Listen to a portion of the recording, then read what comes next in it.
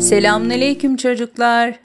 Bugün sizlerle soru cevaplı bir hikayemiz olacak. Bir gün Aslan Kral hayvanlar arasında yarışma yapmak ister. Bu yarışmayı dört alanda yapacağız der. İlk yarış yüzme yarışı olacak der. İkincisi koşma, üçüncüsü tırmanma, dördüncüsü ise uçma alanında olacak der. Aslan Kral ormandaki tüm hayvanları çağırır ve herkesin birinci yarışma yüzme için hazırlanmasını emreder. Orada bulunan hayvanlar yarışmaya hazırlanırlar. Zürafa, sincap, serçe, fil, balık, yılan, su aygırı ve birçok hayvan yarışma alanında toplanır. Tüm hayvanlar denizin kenarında sıraya dizilir ve aslanın başla komutunu beklerler. Peki çocuklar sizce bu yarışmayı kim kazanır? Kuşlar mı? Filler mi? Yoksa maymunlar mı? Hipopotam olabilir mi? Evet çocuklar. Sizce? Evet, balık, balıklar. Peki neden balıklar? Filler balıklar kadar hızlı yüzemez mi? Evet, yüzemezler. Peki aslanlar? Aslanlar da balıklar kadar yüzemez mi? Yüzemezler. Peki o zaman maymunlar, maymunlar balıkları geçebilir mi? Geçemez. Çünkü yüzme özelliği en çok olan hayvan balıklar. Peki çocuklar, ikinci yarışmaya geçelim.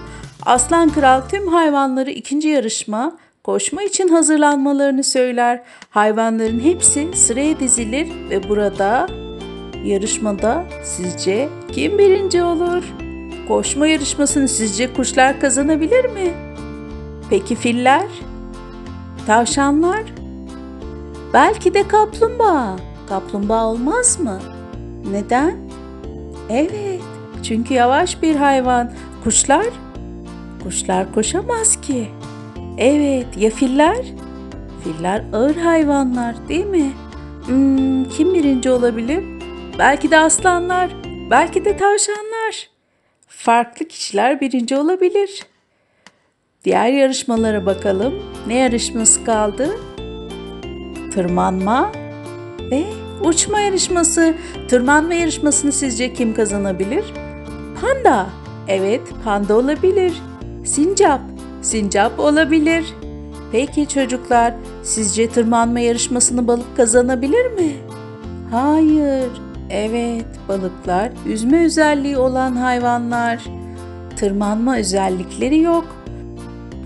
Pekala çocuklar, son yarışmamız uçma yarışı. Sizce uçma yarışını kim kazanır? Fil? Hemen bildiniz. Evet, filler değil tabii ki. Kuşlar. Filler uçabilir mi? Hayır. Ördekler. Ördekler uçabilir mi? Hayır. Evet çocuklar. Hikayemizde olduğu gibi bütün hayvanlar farklı özelliklerde yaratılmış. Bizler eşit olsak da özelliklerimiz farklıdır. Aynı yarışmada olmaları haksızlık, adaletsizlik olurdu. Bazı hayvanlar uçar, bazısı yüzer, bazısı koşar.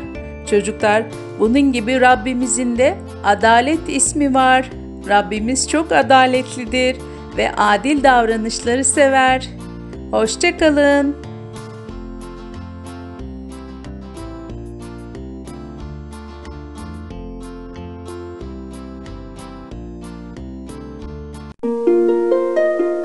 Müzik